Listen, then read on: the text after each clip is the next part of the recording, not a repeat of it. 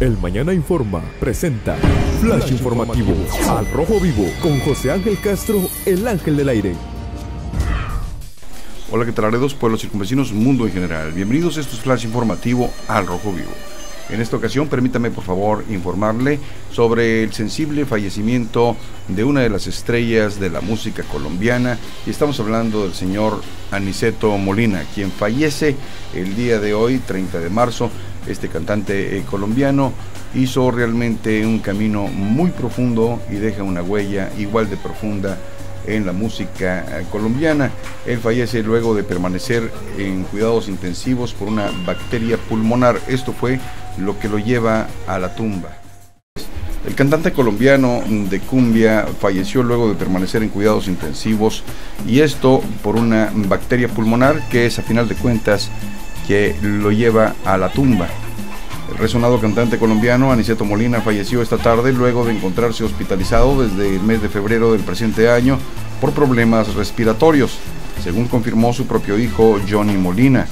Aniceto se encontraba en la unidad de cuidados intensivos de un centro hospitalario en San Antonio, Texas, allá en Estados Unidos.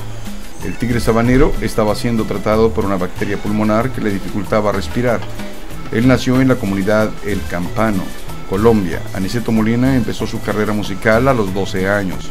Vivió en México entre 1973 y 1984, año en donde se trasladó a San Antonio, Texas, donde murió. Algunas de sus canciones más exitosas incluyen La cumbia sampuesana, El peluquero, La gorra y La burrita, entre muchos, pero muchos otros éxitos más. Este comunicado fue puesto en las redes sociales por el hijo de Aniceto Molina, Johnny Molina, y dice lo siguiente, con lágrimas y con el corazón destrozado hago saber al público, amigos y medios de comunicación que mi padre, Aniceto Molina, acaba de fallecer en el University Hospital de San Antonio, Texas. Agradezco y los bendigo por sus oraciones, plegarias y todos los buenos deseos que tuvieron hacia mi padre, creyendo fielmente que Dios siempre tiene el control de todo. Rogamos por su eterno descanso.